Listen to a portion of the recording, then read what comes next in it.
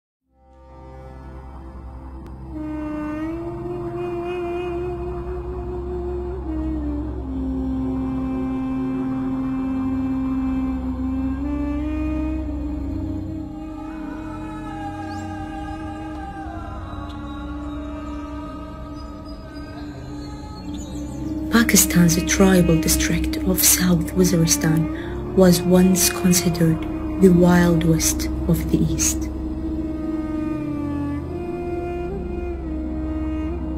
The inhabitants of the region had witnessed large mass migration due to military operation against terrorism.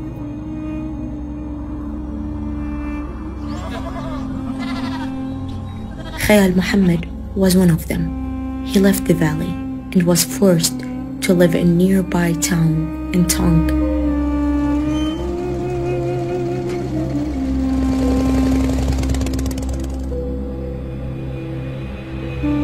After living a life of uncertainty in different places, he with his family returned to their hometown which called Grizai in South Waziristan.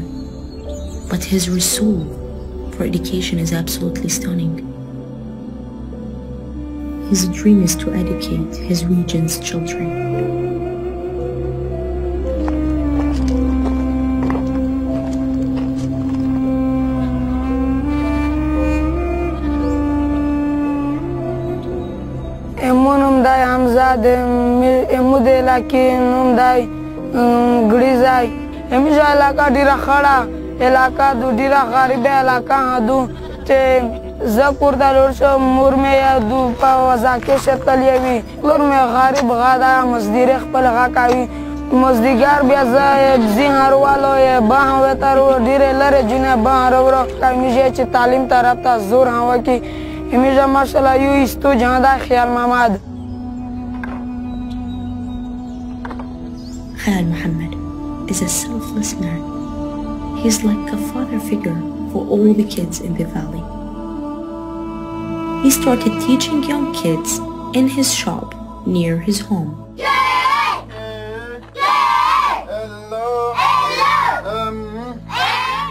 پرېشن آباد او میرا د علاقي آبادکاري په نومو باندې رجسټریشن شروع شو بیا د میر دغه علاقي رجسټریشن په 2015 ستمبر 2015 کې وشو په دغه کې موږ خپل رجسټریشن وکړ علاقه ته ورغلو په علاقه کې د زندګۍ د تراول هیڅ سہولت نه سکولینا سړکینا هولل لره امیر چې کیم کیوی یا امیر یې بوي دا هم وجه سوي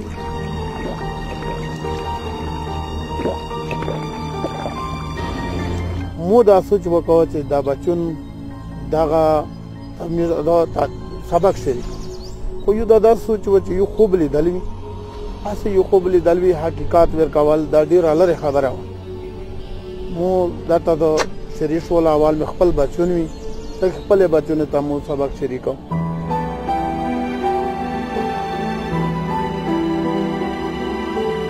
د مو سره بورډ نه و مو سره کپې نه و مو سره کتاب نه و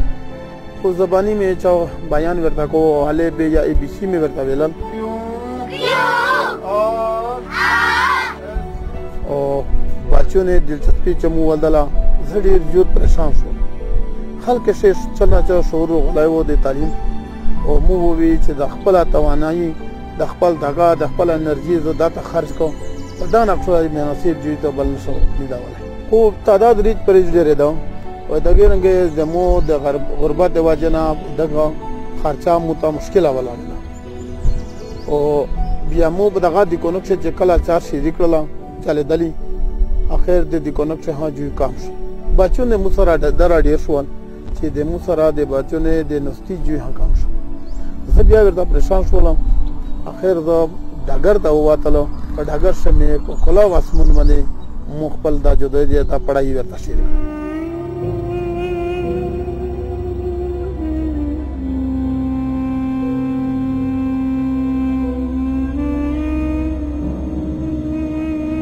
Is a treacherous journey continues.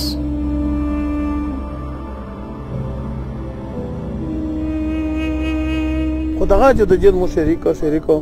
خلکو دله پر تر ته یې په مو پر یو مزه کړو یعنی خندا بیر پورا کوله چې دا کسا یا د نکاري تلاش کوي دا کسا یا د شهرت تلاش کوي او مو په خپل درک شي ویلي وی چې آیا تاسو خوندې تاسو ډرامي کوي او د مو یو سوچ تای الله تعالی وجود ور کوي خو شر دا چې کچيره د مو سوچ مخلصانه الله تعالی دا وجود وری وری بڑا وو چې ټیم نه بعد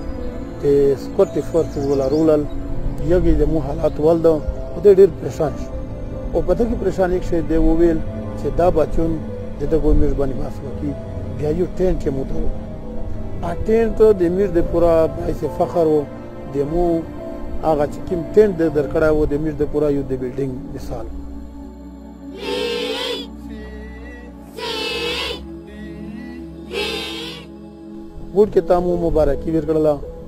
ورته مې وی چې کچیر دا ټینټ تاسو خپل ټینټ وګڼو تیر کام دې مشو الله تعالی ته ته بلډینګ نه او بیا په حقیقت سره د مخابره داسې ثابت شول چې په ډیر کام دې نه بعد او تقریبا په کل کې بیا الله تعالی مشته یو بلډینګ هر کو ا بلډینګ د سکوت ډیفوسز طرفه متمنه شوم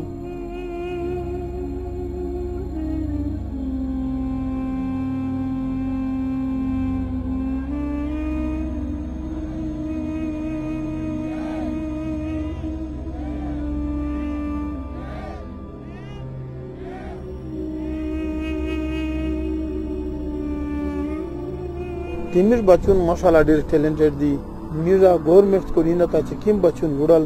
هر کولو د پوزیشن په کلاس شوی په سکول شوی خاص او هغه وخت لري نه دی په ان شاء الله انجنیرون هو جوړیږي او دغه ملک دی پورا یو روشن مستقبل هو جوړیږي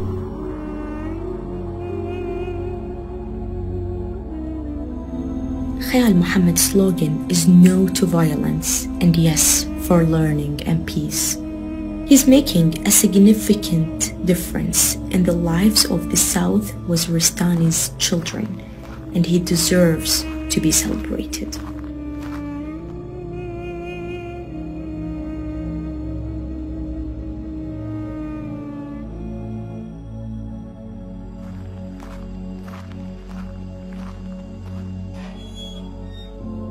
احمود دا خواهش ته ته ډیر خوشاله ټیچر چا جوړ شه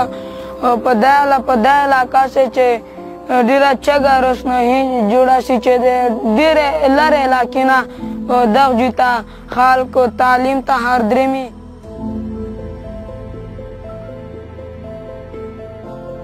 Muhammad is like unsung hero for all of us. We all paying a special tribute to his selfless service to his community.